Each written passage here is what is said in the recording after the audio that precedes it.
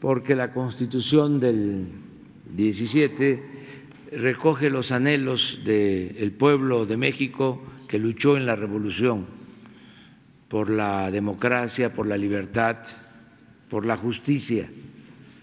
Es eh, muy lamentable que en los últimos tiempos se haya dejado en el olvido estas fechas cívicas, históricas, los eh, niños de las escuelas hasta de secundaria hablan de los puentes,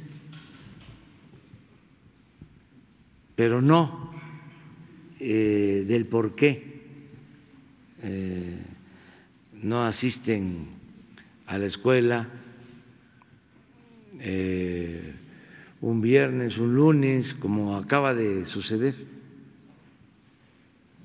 Y resulta que hoy, día 5 de febrero, nadie recuerda que se promulgó la Constitución.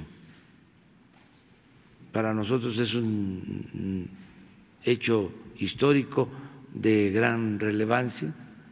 Por eso anuncio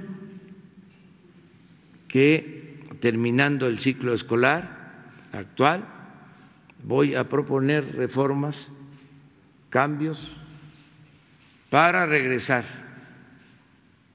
a las fechas históricas, para que eh, sea festivo